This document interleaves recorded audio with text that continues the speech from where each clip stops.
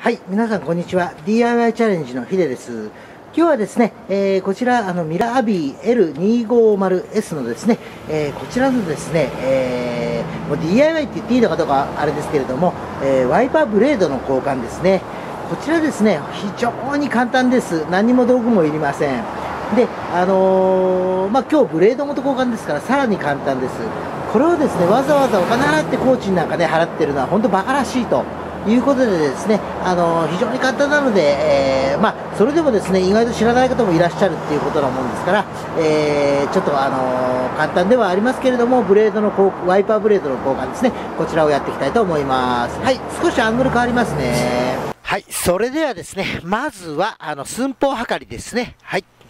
こちらちょっと長い物差しでね、えー、はい、50、えー、50、あ、500、あのー、52.5ですね。はい。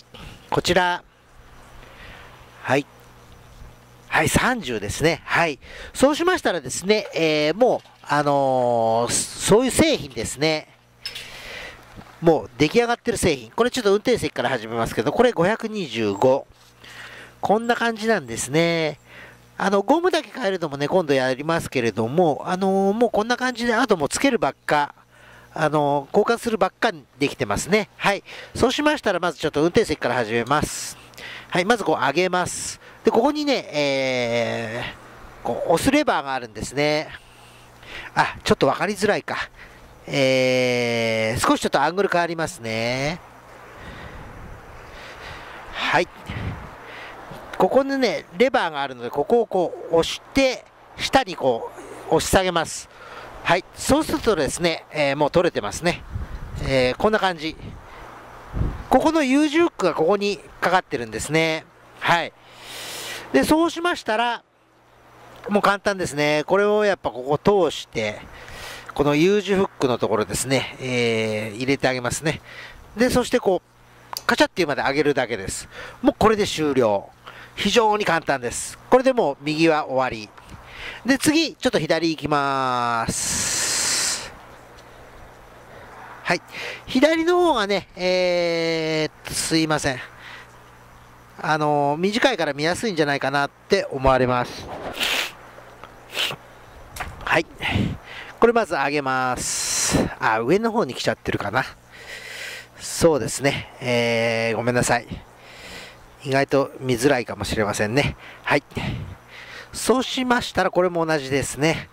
ここに押すところがあるので、ただちょっとあれですね、手が入りませんね。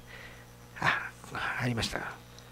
これをこう押して、硬いですね、ちょっとね。押して、下げると。ちょっと硬いな。